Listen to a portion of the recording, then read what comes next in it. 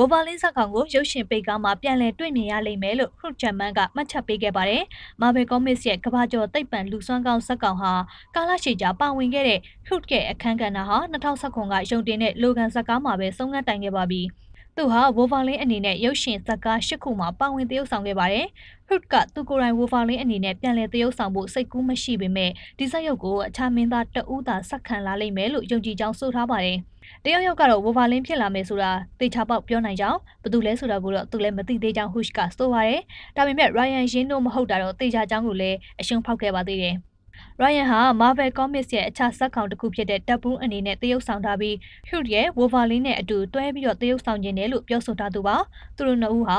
X-Men Origin Wolverine ဇာတ်ကားမှာဇာတ်ဝင်ကတစ်ခုစာလောက်အတူတွဲဖက်သရုပ်ဆောင်ခဲ့မှုကြပါသေးတယ်။